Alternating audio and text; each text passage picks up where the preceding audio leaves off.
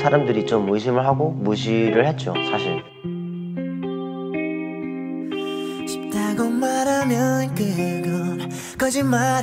뭐 제가 옛날에 조금 아이돌이기도 하고 한국말도 제대로 못하고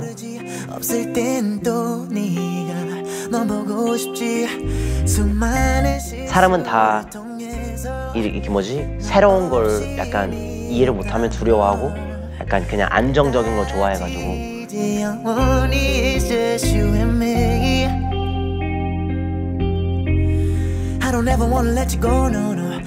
저는 되게 약간 좀 제가 살아있는 동안 어떤 영향을 끼쳤는지 그리고 사람 대하는 그 태도가 뭐였는지 그, 그걸 되게 중요시해가지고.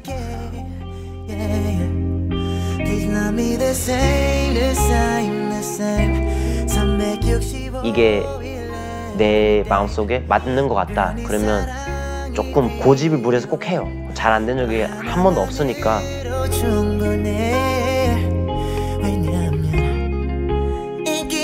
긍정적인 영향을 끼치는 사람으로만 봤으면 해요. 사실 이런 뭐, 뭐 돈이나 이런 유명세나 이런 건 진짜로